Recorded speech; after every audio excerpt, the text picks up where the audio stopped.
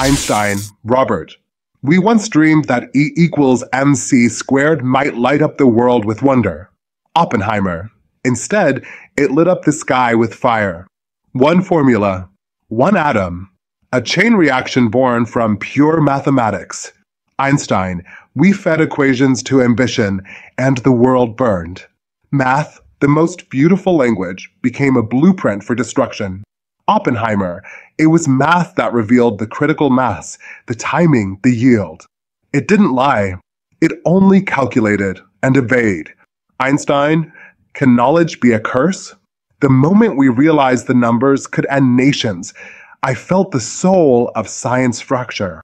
Oppenheimer, our equations were flawless, but our ethics? Incomplete. We thought we were solving problems, but we created new ones, infinite ones. Einstein, so what did we really do, Robert? Oppenheimer, we proved that mathematics doesn't choose sides. We made the numbers speak, but we never asked if we should listen. If math can build a bomb, can it also rebuild the world?